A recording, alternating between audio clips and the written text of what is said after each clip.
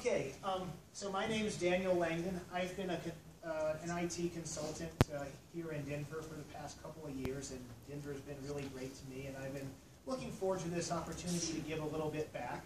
Um, so I'm going to be giving you a talk about uh, ASM.js, but um, since I don't have time to uh, do a, a, super deep dive into the code right now, I'd like to uh, start out by telling you a little bit about my motivation for being a, an early adopter of this uh, system that you may have never heard of. So to begin,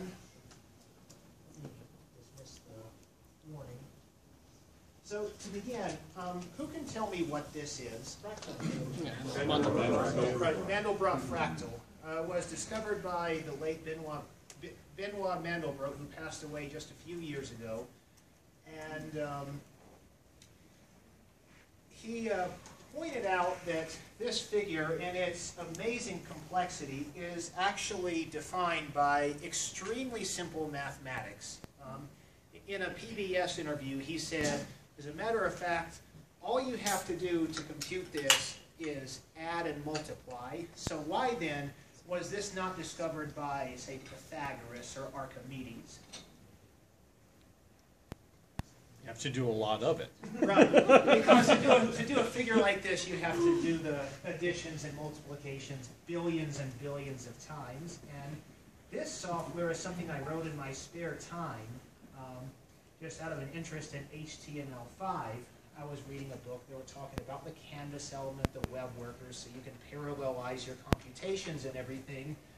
Um, but to me, the elephant in the room is that while we have all this great new stuff in HTML5 to let us draw however we want, um, do parallel computations, do video, audio, and, and all of that fun stuff, uh, we're still doing all of our computations in JavaScript, which uh, for all the wonderful things about it, which I think it is a great language, it's uh, a, a, dynamic uh, interpreted language, uses duck typing.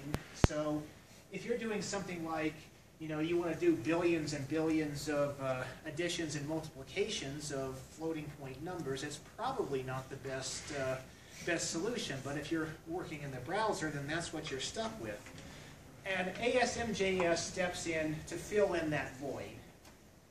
Um, this started out as an experimental feature in Firefox. Um, I thought perhaps it would be a flash in the pan. Maybe they wouldn't find a killer app. Um, I wish, personally, that instead of showing you this, I could show you the Unreal Citadel demo, which uh, I'm told was a port of uh, uh, an Unreal demo, which is a game engine that lets you walk around a castle in 3D in a web browser, but unfortunately they took it down and replaced it with something that isn't nearly as good. It's called Tappy Chicken, I have no idea why they did that. um, but the good news is, um, um, just last month, even after I had signed up to give this talk, uh, Microsoft has announced that uh, they're going to uh, put support for ASM.js in uh, the new iteration of their browser stack. And um, not only that, but Google is too, I think. And Microsoft also announced that um, uh, support for ASM.js was actually in the top 10 uh, list of features requested for uh, the new version of Internet Explorer. Um, so if you want to know exactly what this is, um, it's ASM.js is not a library, you know, like the name suggests, like Prototype.js or AngularJS. Uh, what it is is a C-like language embedded inside JavaScript. And you know, the genius of that is that um, when a browser that doesn't know how to do ASM.js encounters it, um, the browser can still run the code, albeit slowly. Now, if it's something like the Unreal Citadel demo, it's going to be uh, impossible to use. But you know, if we're doing something like this, uh, yeah, you can draw these pictures with Internet Explorer. It'll just be really, really, really slow. um, so now, now that I've given you, the, given you the general overview of what it is and what you can do with it, I'd like to uh, show you uh, just a little bit of the code to, to round out my presentation this evening. So, um, what we have here is some actual ASMJS code. Now, I didn't do any of the code for the user interface or, you know, clicking the buttons or that sort of thing in ASMJS. I mean, only the mathematics. So one question that probably comes to your mind then is, well, since JavaScript is duck type, how do you embed uh, strongly typed C code in the language? And here's how. Um, so this is an, a, a function I'm using as an example called compute row, and I'm sorry if this isn't big enough. Should, should I make it bigger? If you could. Let me see if I can make that bigger real quick.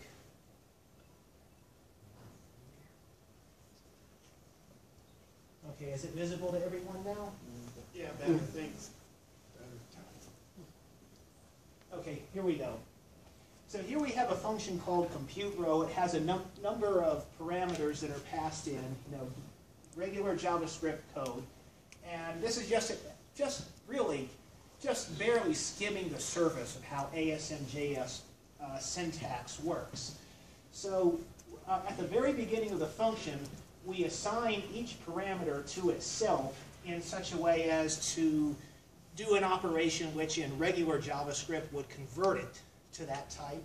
So for example, the first three, canvas width, canvas height, and limit, all say, you know, parameter equals plus parameter. And that unary plus normally just tells JavaScript that something's a number, and it would, if it wasn't a number, it would convert it, but since it is a number, it does nothing. So when uh, ASMJS sees this, it says, okay, this is a function, and these first three um, parameters are 64-bit floating, floating point, point numbers. The fourth one here, it says max equals max or zero. Well, or is kind of a weird operator in JavaScript. You know, JavaScript normally uses 64-bit floating point numbers for everything, but um, with the OR operator, both operands are converted to a 32-bit integer. So when you say max equals max or zero, that just has the effect of converting it to a, a 32-bit integer since, you know, any 32-bit integer or itself is the integer you started out with.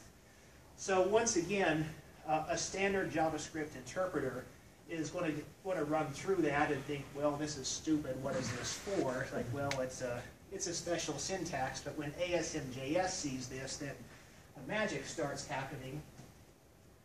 Now, um, there is a tool for generating ASMJS code, which I actually did not use for this particular project, but I just wanted to point it out. It's called Emscripten. Uh, it converts C or C++, C++ code to JavaScript code, and it normally targets ASMJS. E-M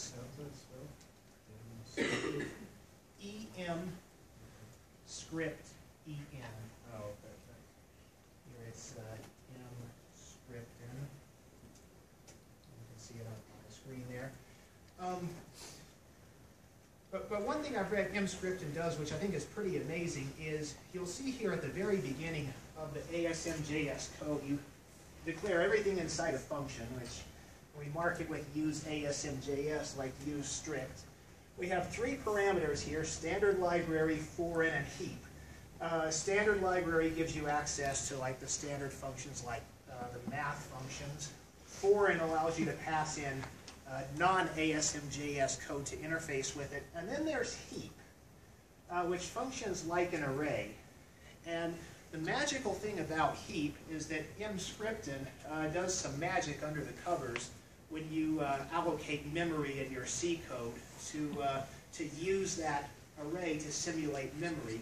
It's completely backwards compatible with regular JavaScript code, um, but, but it goes into that paradigm of you can you know, have it compiled in one browser and interpreted in a browser that doesn't support it. Um, I actually wrote my own little code generation tool, um, which, um, since you may know, these uh, images are defined in terms of mathematical functions. I wrote um, code that uh, interprets, you know, what we think of as like standard mathematical language. So I can type in a completely different mathematical function here, and I know this function generates a beautiful plot. So just to illustrate how it works, I've simply changed the uh, the syntax of the function here to say instead of z squared plus c, we're gonna draw a plot for, uh, for sine of z over c, and you can see this one takes uh, a good bit of time to load, even with ASMJS. Um, But it draws, it, it draw, it, it uh, uses that interpreter to draw a completely different image. So, uh, this is just uh, one small example of the power you get with ASMJS, you know, to fill in, you know, the, the void left by having to deal with a uh, dynamic language for doing heavy-duty mathematics. Um, That's my talk. Are there any questions? So is that C language, uh, or the version you showed, is it being compiled? Yes. Um, so I, I actually did not, so the tool Emscripten I talked about, um, takes C code and converts it to JavaScript code that's compatible with ASMJS. Um, but I, I took like a hybrid approach. I wrote some ASMJS functions, uh, by hand, which is normally not encouraged. And then I wrote code that would convert mathematical notation into a series of invocations of those functions and variable assignments. Does that answer your question? Sort of, I mean, so you're going through separate layers there, but ultimately, you're compiling some code to to create more speed. But- Correct. Correct. So ultimately, the browser receives JavaScript code in this special ASMJS syntax. And if the browser supports ASMJS, the browser compiles it. Otherwise, um, it gets treated as, you know, any other JavaScript code. How can you know for sure if the browser is running it in the optimized ASMJS mode or not? If you, that's a great question, actually. In the uh, development console in Mozilla Firefox, it will show you a compilation error if it didn't work, and believe me, I've seen lots of them. Uh, what kind of performance gains are you looking at? Um, well, com- compared to other browsers, um, like, it's uh, lightning fast compared to IE. We'll see how it is with their new version.